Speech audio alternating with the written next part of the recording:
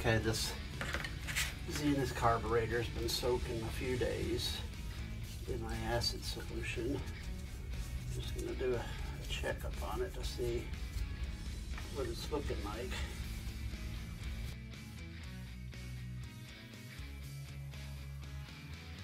Check the air passages and uh, fuel passages to see if the butterflies are working.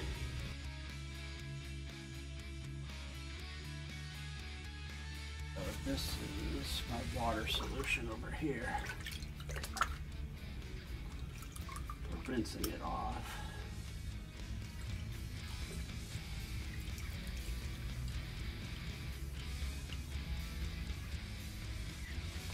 See the bottom here. It's doing. That's still got some of the original like black on it. Everything else that's not the black paint was rusty. So now it's got it down to uh, the bare metal. You can tell by the uh, the solution here, it was clear and now it's pretty silted up. Oh yeah, at that, the bowl is nice and clean now.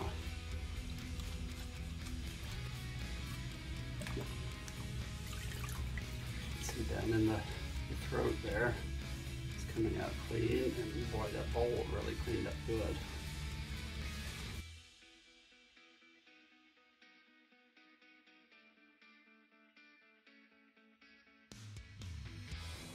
I'm gonna be working on these rusty shock absorbers and some other bumper brackets and parts. Okay, these uh, shock absorbers for a Model A have been soaking for several days. So we'll just take a look at them. Yeah, they were pretty rusty. That's the, uh, the cover. It's threaded inside here. Got most of the rust off of that one. Control bar.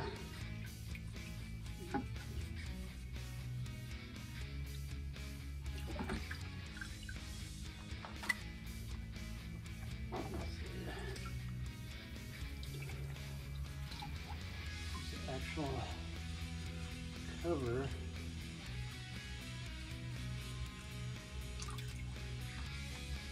That looks pretty good. You can see it's the metal pretty much.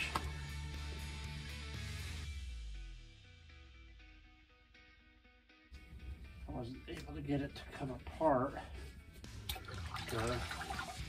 Went ahead and soaked the whole shock absorber. Now the outside's looking pretty good. You may ask why you try to restore these rusty old shock absorbers.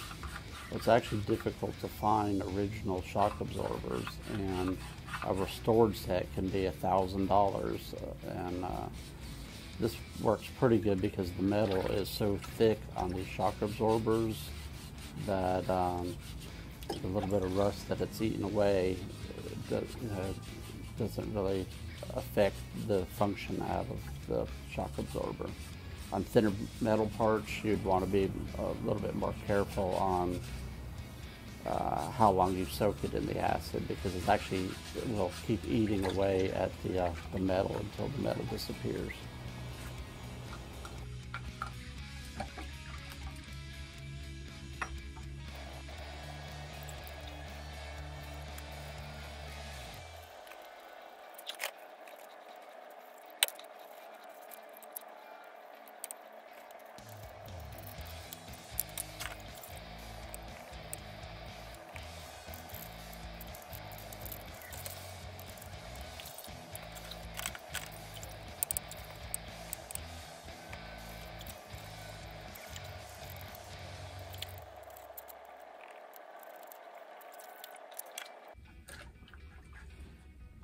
Well, they're looking pretty good.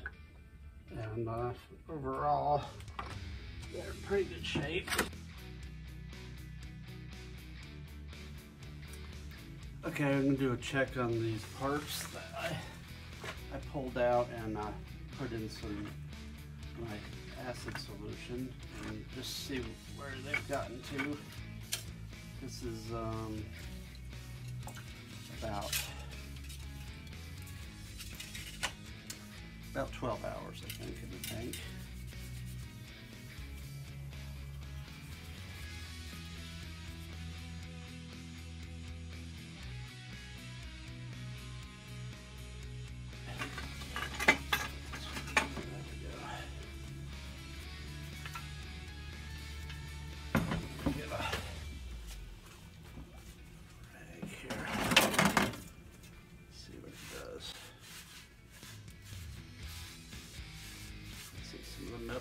Through there.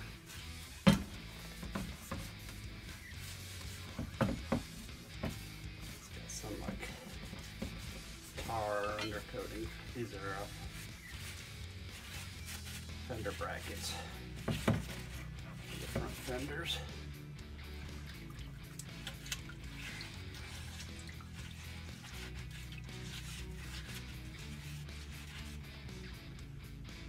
See the light coloring in there?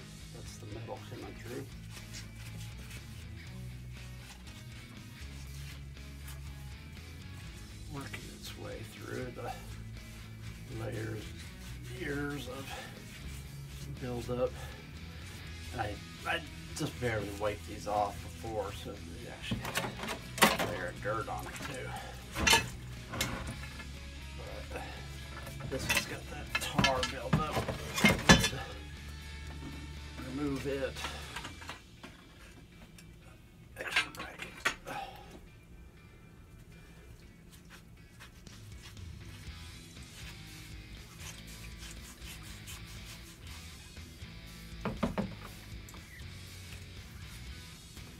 This thing was really rusty. That's gonna take some more soaking on it.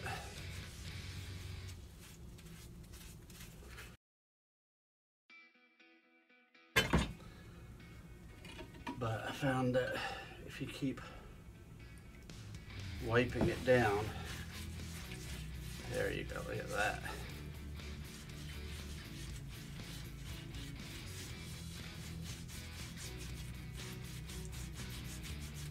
Keep wiping the uh, rust layer off. Let's see, look at that, bare metal. And the black is some of the original paint. But the acid leaves the paint alone or doesn't get through it as quick, I guess.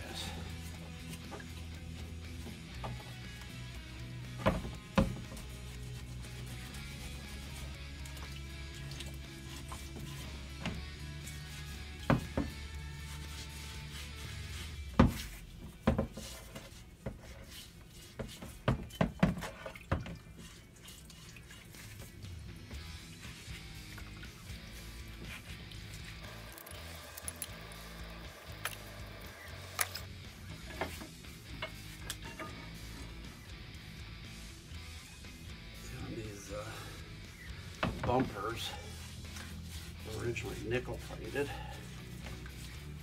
So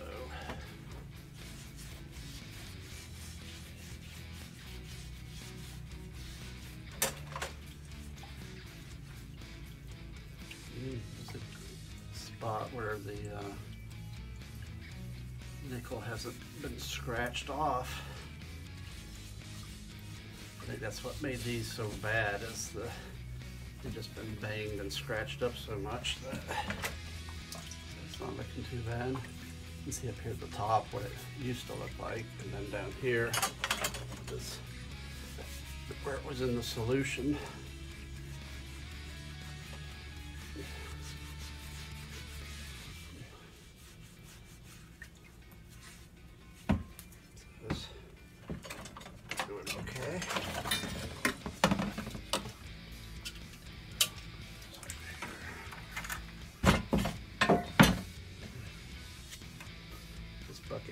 Really heavy with all these bumper brackets in it, but you can see the original down here, and then I just lightly wipe it off. And uh, it's starting to come back.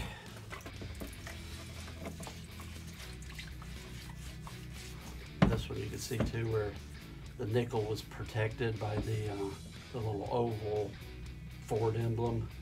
And uh, you know, that part of the nickel is still in really good shape. The rest of it will have to be replated maybe one day. But, yeah, you could get new brackets, new reproduced brackets and bumpers. I'm kind of debating whether to just keep it not a rat rod, but keep it original. We'll just see. which one's next. Uh, another bumper bracket.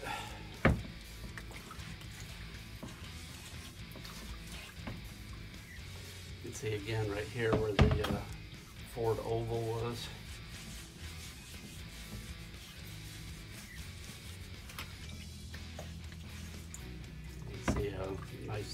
The, nickel is underneath it was protected.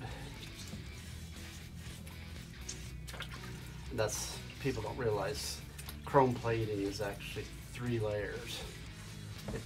Layered in copper, which adheres to the steel really well. Then they put nickel, which is the shiny part, which you can see here. And then the chrome is actually more like a, a clear coat for the top and uh, protects the nickel.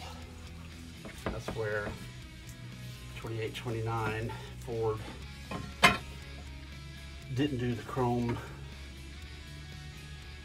Yeah, I guess to make the cars cheaper, he uh, cheaped out on it and just went with the nickel. But the nickel doesn't isn't protected over time. You can see, you know, there's the shine that you see on chrome plating. That's actually a layer of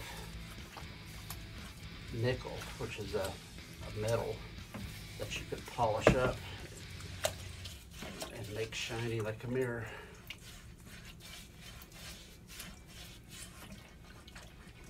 But these are starting to clean up, you know, from what they were here.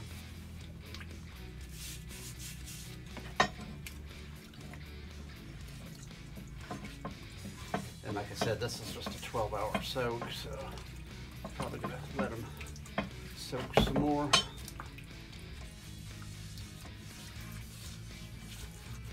Try to get them fairly clean and then we'll see what to do with them.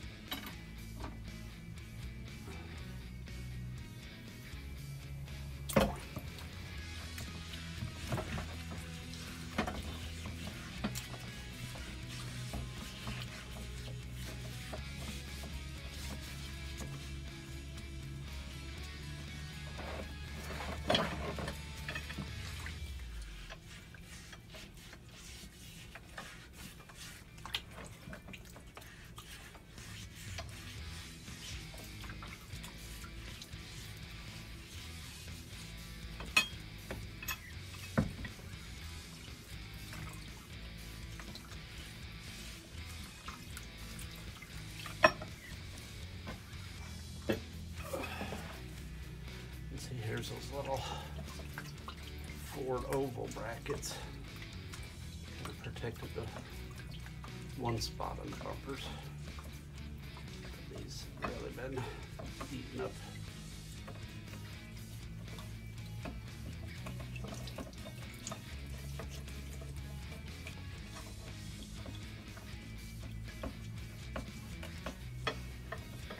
Like I said, you can buy all this stuff if you have money. Buy new reproduct reproduced parts. But these are the originals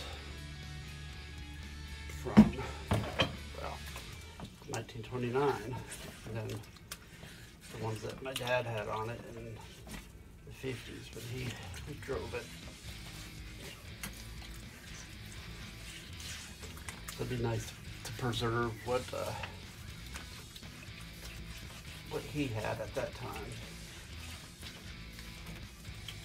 So even if I end up buying some the replacement reproduced bumpers, I'd still have these hang on the wall in the garage or whatever. I'm just trying to preserve them and stop them from rusting anymore.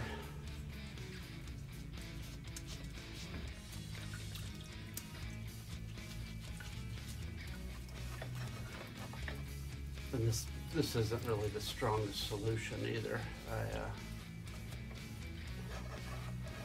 it's kind of been watered down.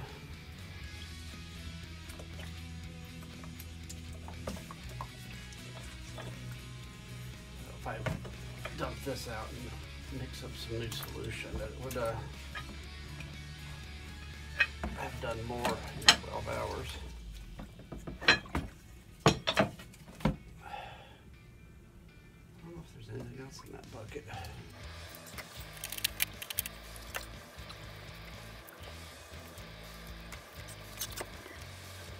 Let me just quickly show you what the uh, clean water is now looking like.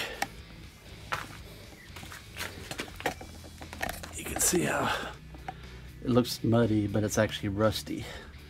And this was clean water when I started. So that's what it, it's been doing. All right, everybody, thanks for watching and click the subscribe button. It's free and it just it helps you know, those of us creating content. It keeps track of how many uh, people are actually subscribing to the channel and uh, popularity of the channel. And then uh, click the like button, put a comment down, and uh, say whether you enjoy watching this or you learned something or it was informative or just to say hi. I had a few comments from uh, people from uh, Australia. That was interesting. That that actually made my day. And uh, Wayne's Garage down there in Australia, on the east coast of Australia. Um, so, anyways, all right, everybody, take care.